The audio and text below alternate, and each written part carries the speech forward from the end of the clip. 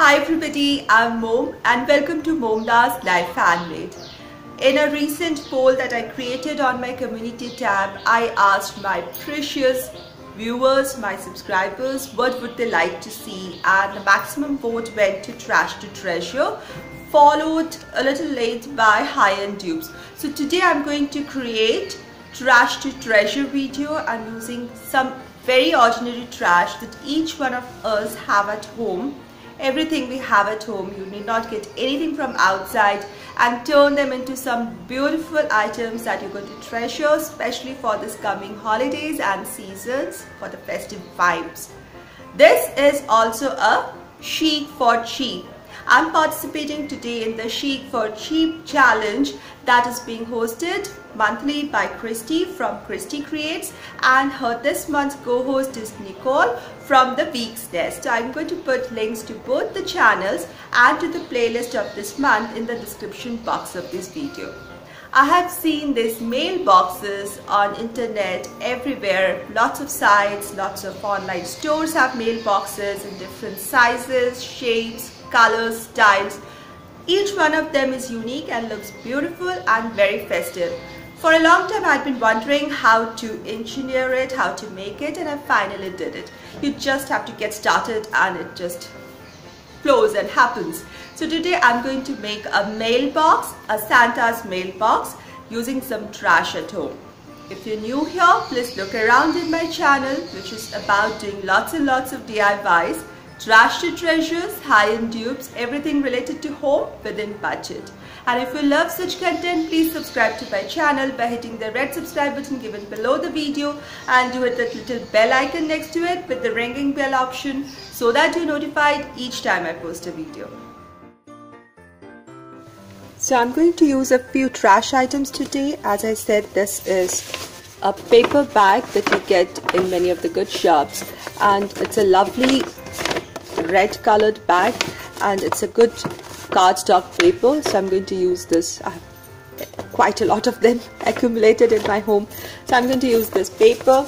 Then I'm going to use this cereal box. So almost everybody has these cereal boxes coming into their homes or you can use any of those cardboard boxes. This is not very so it will be easy to cut even with scissors. So I'm going to use this. I'm going to create a mailbox. So first thing I want that uh, curved edge of the top side of the mailbox. I'm just using a lid. I placed it. I just measured. And with this width so one has to uh, really adjust according to the size of box you have to decide how height how much of height you want or how much of width or depth you want so uh, using this which is approximately 8 inches wide I decided to keep the height 8 inches and I marked it here. And after oops after I marked the tip I just found a lid placed it and marked a circle on it.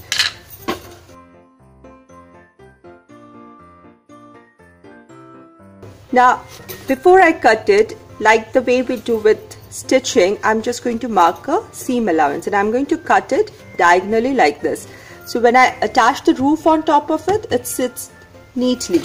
So similarly, I marked on the opposite side also and I'm going to cut around this edge and then this is going to be one edge, say the front edge.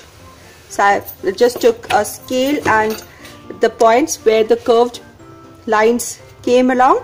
So along the same line, I have marked a straight line. So this is parallel to the base. Now for the back side, that is the most important thing. For the back side also, I will have a similar line.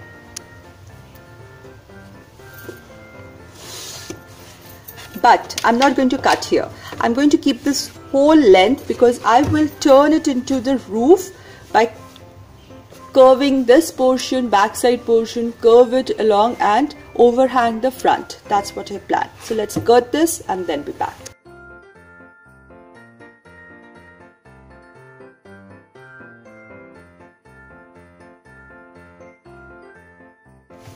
Now this is what I meant. This is the seam allowance which I'll fold later like this.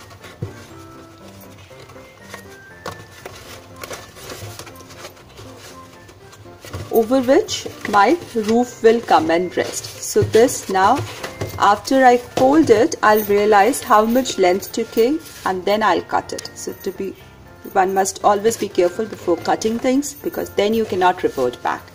So this is going to be the framework. Now in the front I want a little slit for the letters to be dropped in.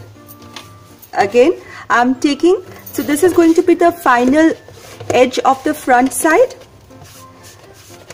Yeah. So just below it one inch below it I'm going to mark a line say half an inch away from the edges. And make the slit say about an half an inch wide so that it's easy to drop in the letters so this is going to be the portion that I'm going to cut out for the letters to be dropped in.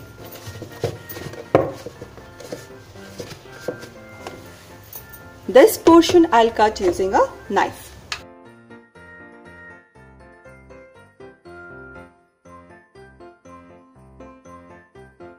So here we have a slit.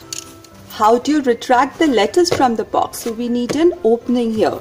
So instead of cutting this whole thing out, which will weaken my structure, I'm just going to cut a rectangular window out of the space. So I made sure that this, okay, this portion has got a joint, so it will be difficult to cut out. So I'm going to use the other side of the box which doesn't have the joints. This is the joint that I'm talking of. Uh, so I'm not going to cut this side. The other side doesn't have any joints. So I'm going to cut out a rectangular window out of this from where one can retract out the letters. So let's mark it and again cut this out using a knife.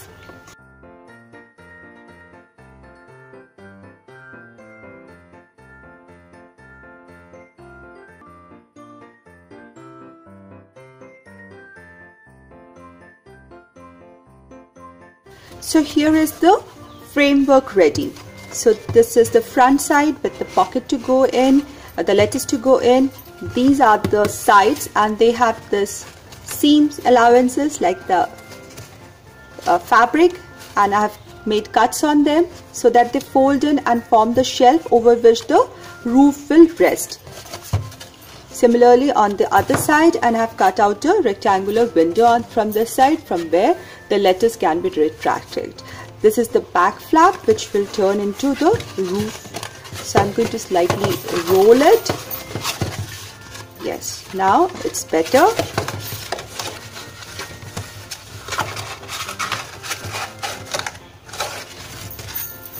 So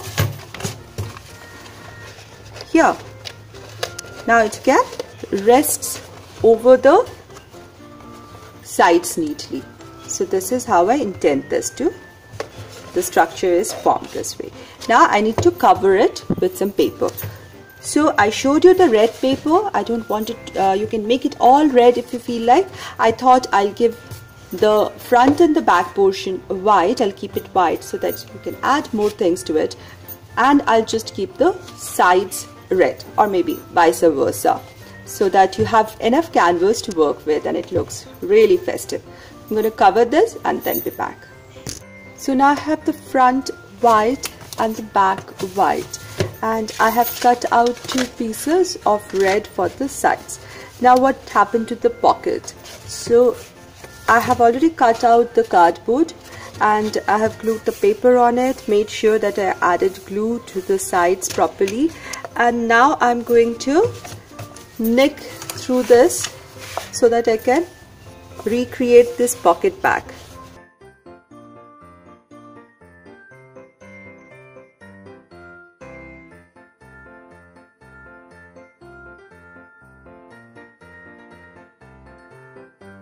So on the sides I'm trying to create a V so that I can fold the paper in till the edges. So not a neat work here but okay.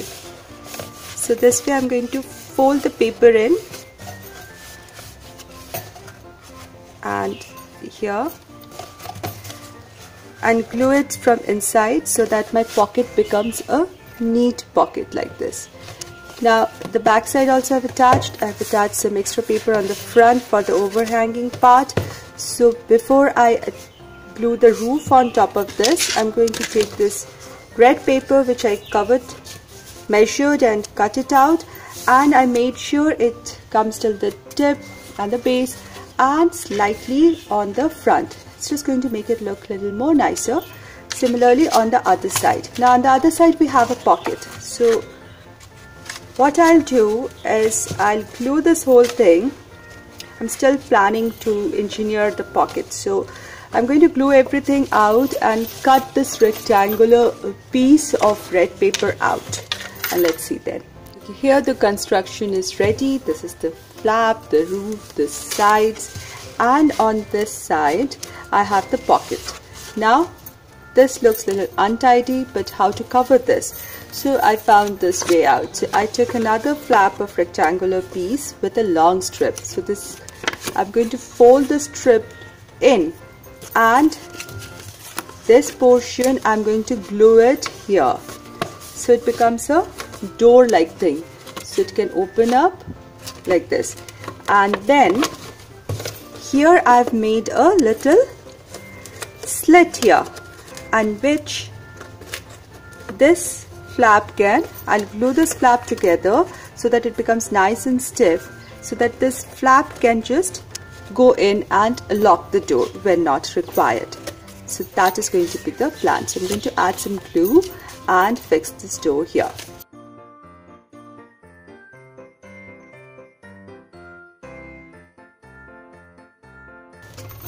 instead of hinges I'm using some glue. And here we have it.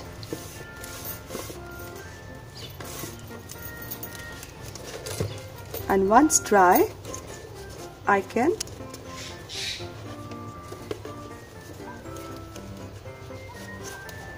use this to go inside the slit. So I'll have to wait till this thing dries up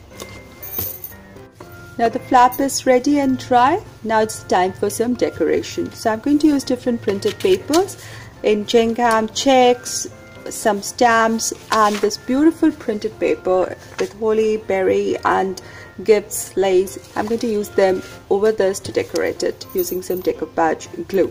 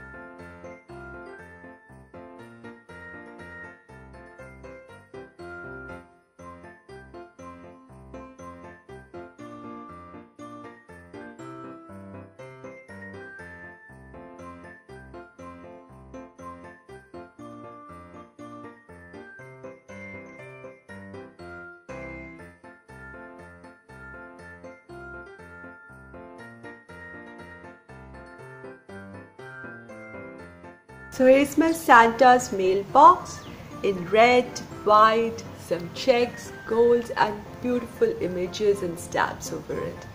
It looks little Mackenzie Childs inspired, it looks modern farmhouse. I think it just looks so cheerful and festive. What do you say? This is trash to treasure, this is chic for cheap, all in one. I think I really like my mailbox here. If you like this video, if you like my today's DIY, please give this video a thumbs up, share this video, share my channel with your creative friends and family. And I thank you all so much for your time and support. And I'll see you all very soon with my next DIY in my next video. Until then, stay positive, be creative, and be happy.